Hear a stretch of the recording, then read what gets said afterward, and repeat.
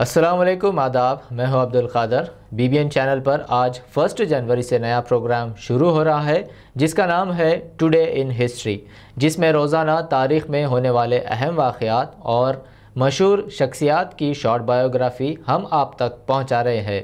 रोज़ाना एक बजे यूट्यूब पर यह प्रोग्राम अपलोड होगा। लिंक कमेंट बॉक्स और डिस्क्रिप्शन में भी मौजूद है। ज़रूर देखिए और ये प्रोग्राम आपको कैसा लगा कमेंट करके ज़रूर बताइए।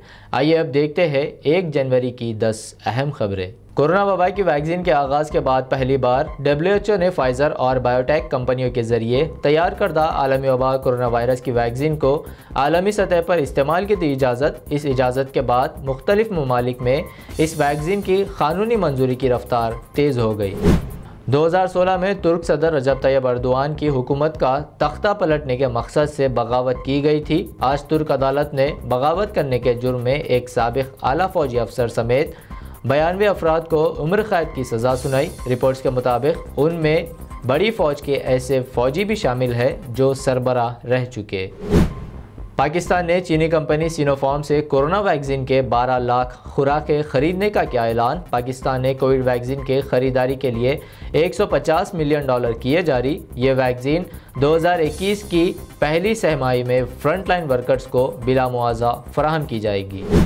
रूस के सदर व्लादिमिर पुतिन ने नए साल पर सदर जमहूरिया रामनाथ कोविंद और वज़ीर अजम नरेंद्र मोदी को मुबारकबाद दी। कहा, आने वाले साल में दोनों मुल्क के माबैन मुनाफा बख्श स्ट्रैटेजिक शराकत और ताउन जारी रखने की उम्मीद ज़ाहिर की। रिपब्लिक टीवी के editor in chief Arnab Goswami ने अपोजिशन पर किसानों को उकसाने का इल्ज़ाम किया। आयत अर्नब ने श्रीमनी अकाली दल के लीडर मनजिंदर सिंह सारसा को कहा, सब कुछ ठीक चल रहा है। किसान भाइयों के साथ अच्छी बातचीत जारी है। मनजिंदर सिंह सारसा ने जवाब देते हुए कहा, जिस दिन किसान अपने घर जाएँगे, हम आपको घी शक्कर खिलाएँगे। अब कई सियासी पार्टियों की उम्मीदें सुपरस्टार रजनीकांत से वाबस्ता। बीजेपी के अलावा रजनीकांत के लंबे वक्त से अच्छे दोस्त रहे। अदाकार कमल हसन ने कहा, इलेक्शन के दौरान वो रजनीकांत से हिमायत मांगेंगे। तो दूसरी जानब, बीजेपी तमिलनाडु के कौमी सेक्रेटरी ने कहा, उनकी पार्टी इंतबात के लिए रजनीकांत की हिमायत लेगी।